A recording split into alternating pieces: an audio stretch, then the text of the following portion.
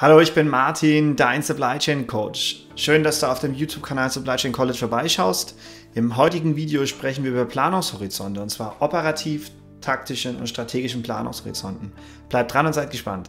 Dann steigen wir doch direkt in das Video ein. Ich äh, zeichne euch hier mal einen Zeitstrahl auf. Und teilen wir den mal in drei Teile ein. Und zwar haben wir einmal den operativen Horizont und wir haben den strategischen Planungshorizont. Ich beschrifte das mal ganz kurz.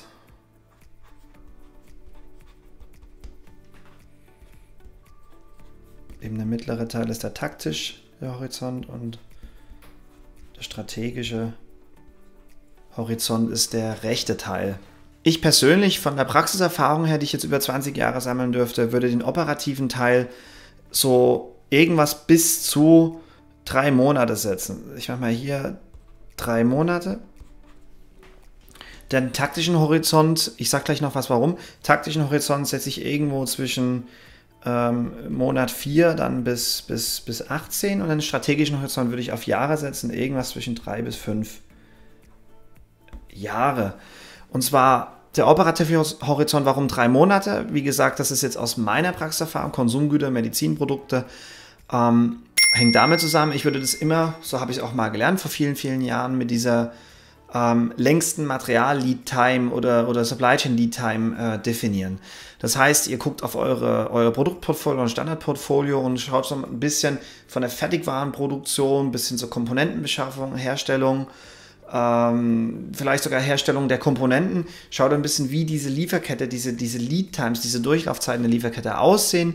Und dort werdet ihr irgendwo bei den meisten, gerade zum Konsumbereich, irgendwo was zwischen 6, 8, 10, 12 Wochen landen, je nach äh, ähm, Produkt. Also sagen wir mal ein Beispiel.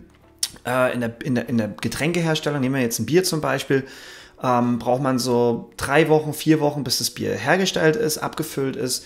Wenn ich dann wieder nach vorne gehe, brauche ich so bis zu sechs Wochen, bis alle möglichen Komponenten da sind. Dann habe ich noch gewisse Trans Transitzeiten, die sind zum Teil schon eingearbeitet oder auch nicht. Und dann seht ihr jetzt wieder schnell, dann bin ich irgendwo wieder bei den plus minus zehn Wochen, sage ich jetzt einfach mal. Ne? Und aus der Praxis hat sich so eingebürgert bei allen Unternehmen, bei denen ich bisher gearbeitet habe, dass man sich dann so auf diese zwölf Wochen, drei Monate festgelegt hat. Und was, was ist mir dort wichtig? Ähm, das ist wirklich eine wöchentlich wiederkehrende Planung. Also in diesem operativen Horizont, dann, da spreche ich wirklich über, über eine Wochenplanung. Und jede Woche mache ich den Plan neu. Für diese, jetzt in unserem Beispiel hier, drei Monate oder zwölf Wochen. Das heißt wirklich, in diesem Zeitraum möchte ich wirklich Demand Supply gematcht haben, ja. Was meine ich mit Demand Supply matchen? Dann meine ich wirklich, dass ich ähm, die Kapazität nivellieren sollte. Ich sollte jetzt nicht permanent über die Kapazität hinaus planen, sondern ich muss entsprechend nach vorne rollieren, je nach Geschäftsbereich, ähm, die Spitzen brechen. Ich muss ähm, schauen, dass ich, wie gesagt, in den Kapazitätsgrenzen stehe und da auch ein sauberes Bild zu haben, wo habe ich Lieferengpässe, wo habe ich Opportunitäten, auch mehr zu produzieren, um vielleicht dann auch wieder in den taktischen Horizont rein Bestände aufzubauen, was auch immer mein, mein Ziel ist. An der operativen Plan vielleicht noch ein letztes Ziel. Dort gibt es natürlich auch mehrere Unterscheidungen. Da gehe ich jetzt natürlich nicht rein. Das kann sein, ich habe zum Beispiel hier die ersten drei Wochen ähm, eine, eine Feinplanung in, in der Produktion und äh, da habe ich dann wirklich ein sauberes Sequencing. Dort habe ich Just-in-Time-Lieferungen für die Verpackungsmaterialien, Rohmaterialien als Beispiel. Ähm, und, und die restlichen Wochen mache ich einfach dieses äh, im Wochenbucket, sage ich mal, ähm, dieses Demand-Supply-Matching, was ich gerade erklärt habe, so dass ich da einfach auch äh, saubere Abruf-Forecasts, Abrufpläne, Bestellungen und so weiter auslösen kann. So wie gesagt, operativer Horizont, ich glaube, das, das sagt euch jetzt schon mal einiges. Das ist das tägliche, wöchentliche Steuern der Operations, Logistikeinheiten und so weiter, Lieferanten. Der taktische Horizont, dort reden wir auch ganz schnell über SNOP, Sales and Operations Planning. Dort habe ich schon mehrere Videos zugemacht, die verlinke ich euch auch gerne nochmal äh, hier in dem Video. Und äh, wichtig ist dort, ähm, das ist eine rollierende Planung. Dort geht man eher auch, teilweise bleibt man auf Wochenebenen, man geht aber manchmal auch sogar auf Monatsbuckets. Auch da wieder, je nachdem, was ihr schon gewohnt seid, wie detailliert ihr unterwegs sein müsst oder könnt in eurem Unternehmen. Und auch dort geht es wieder darum, äh, dieses Demand-Supply ähm, zu machen, aber dann auf einer größeren Ebene. Dort geht man dann wirklich her und sagt, kann ich Schichten erhöhen? Kann ich Schichten abbauen? Muss ich einen äh, Backup-Lieferant aufschalten oder nicht? Habe ich ähm, Indikatoren von Lieferanten, dass ich in gewisse Verknappungssituationen laufe? Wie möchte ich Verknappungssituationen lösen? Das sind so klassische taktische Fragen.